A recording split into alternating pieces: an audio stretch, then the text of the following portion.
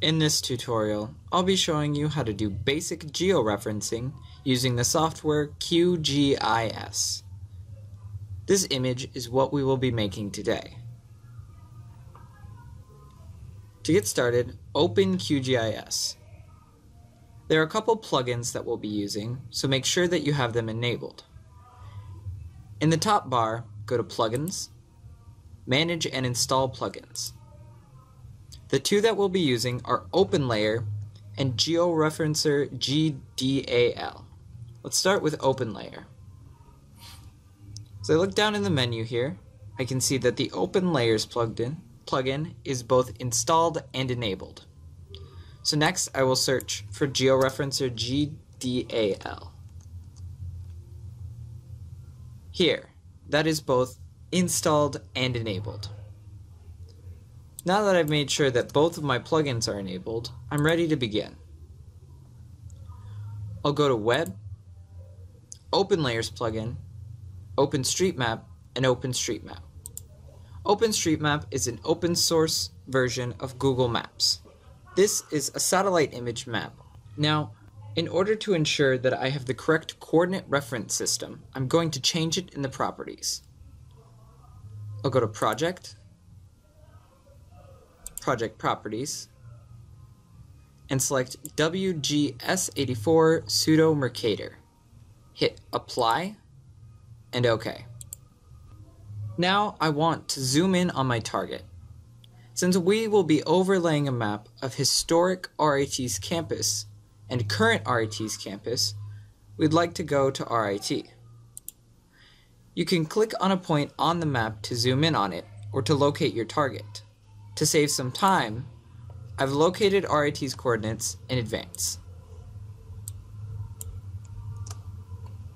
And I'll change the scale to 1 to 25,000 so that we can get a closer view. Now that we have our close-up map of RIT, we can overlay our historic map over top of it.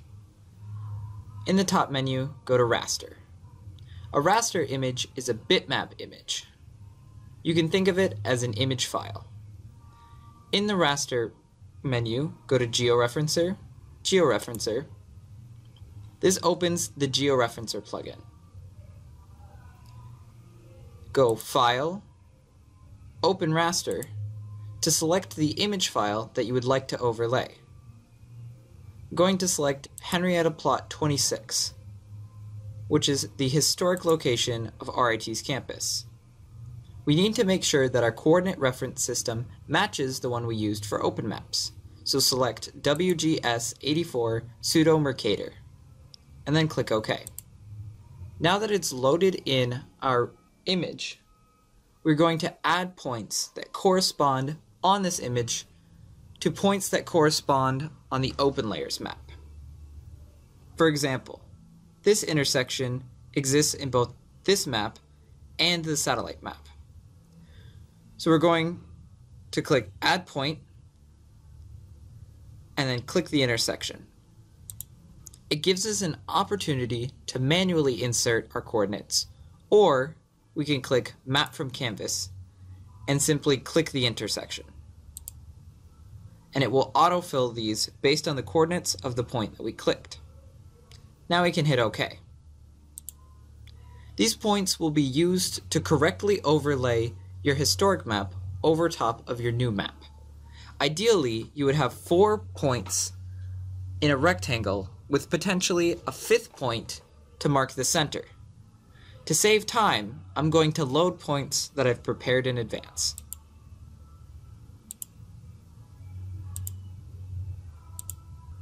Now that my points are selected, I need to adjust my transformation settings. These are the settings that the georeferencer will use to map our historic map to our current map. In Settings, go to Transformation Settings. The transformation type should be thin plate spline. The resampling method should be nearest neighbor. The target SRS should be selected CRS. CRS stands for Coordinate Reference System. For output raster, you're going to designate the name of the file that you want to save to. And hit save. This is the pathway that it will save the modified version of your map to. Make sure the compression is none, zero transparency when needed, and load in QGIS when done. Then hit OK. Now that we've set our transformation set settings, we're ready to begin. Up in the top, click Start Georeferencing. It will give a notification that the raster was successfully generated. We will minimize our georeferencer to see it appear. If we zoom out, we can see how the map has been lined up with the OpenStreetMap, how this feature of the river is continuous along both of them.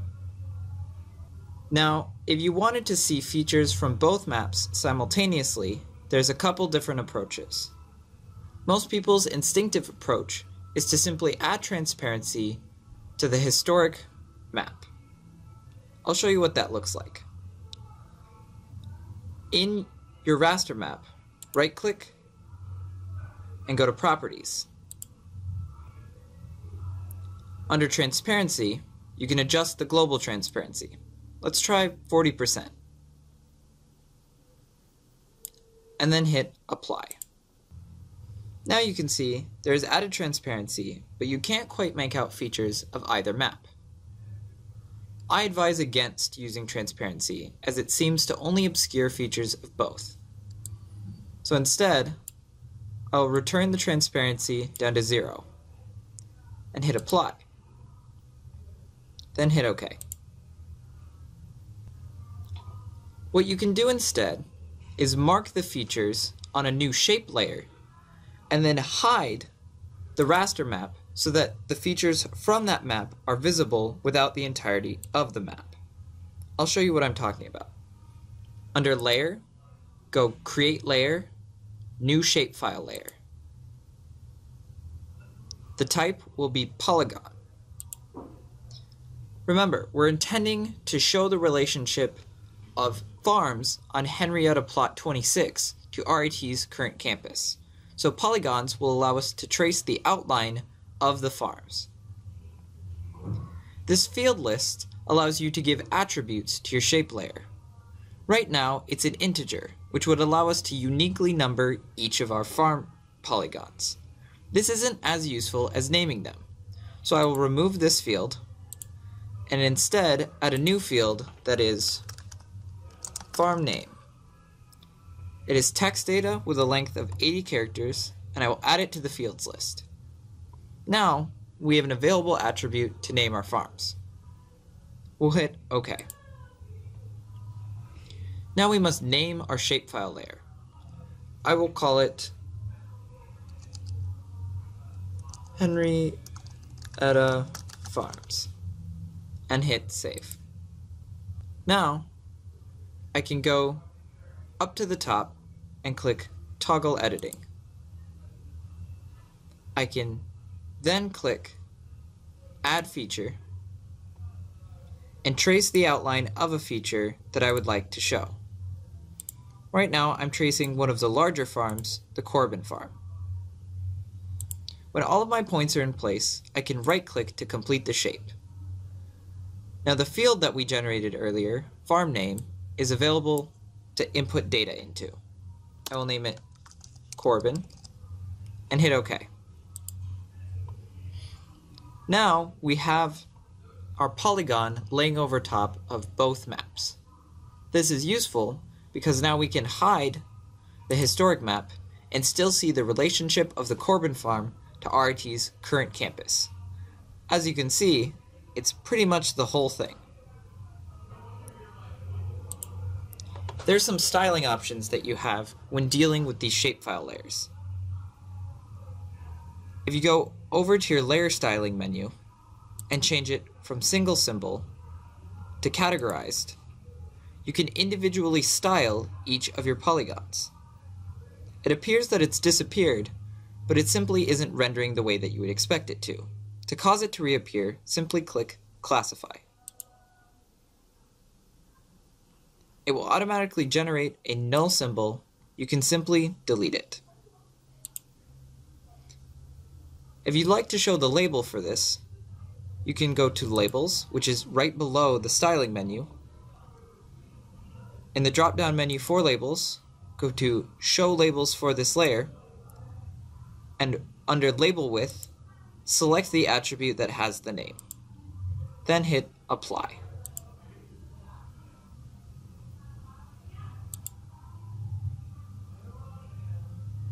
In order to add a different styling to a different polygon, you'll need to save changes to your layer edits.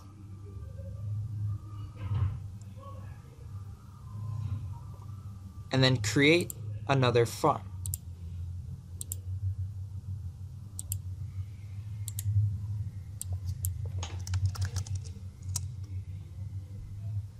Hit OK, and then click Classify.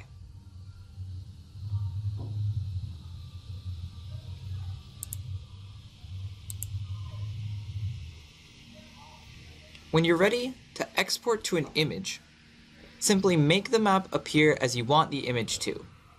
For instance, if I were not interested at all in seeing this historic map and simply wanted to see the relations between the farms and the campus, I could deselect the historic map. And when I go to Project, Save as Image, I will give it a title. I'll name it Campus with farms and hit save. Now, if I navigate to the directory that I've saved it to and open it, we can see it appears exactly as my screen did.